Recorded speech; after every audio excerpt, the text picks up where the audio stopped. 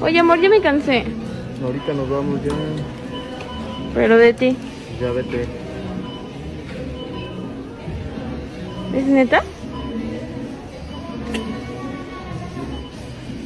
Bueno, primero antes que nada, la autoestima siempre acá arriba, eh, que nunca baje ahí arriba. Bueno, hablemos de los dos casos rápidamente. Primero, jueguitos tontos, como lo que acabamos de ver, pero luego también, ¿qué pasa con el caso real? Jueguitos tontos, viene tu novio o tu novia y te dice, ah, me cansé de ti. Tu respuesta tiene que ser...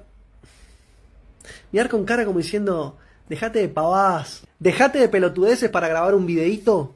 Otra vez con estos jueguitos tontos. Si estás buscando testearme, no se me mueve un pelo. Ahora, por otro lado, ¿qué pasa si viene y te dice de verdad tu pareja? La verdad que me cansé de ti. Entonces ahí tú le vas a decir, entiendo lo que me estás planteando, entiendo lo que me estás diciendo, pero también entiendo que es una decisión unilateral que tú estás tomando. No es lo que yo quiero, quiero que lo sepas bien, no es lo que yo quiero, pero te respeto y te voy a dejar ir.